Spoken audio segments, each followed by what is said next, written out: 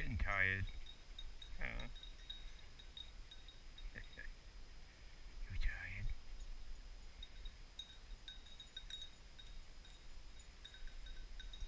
Look at this bird here. He's right here.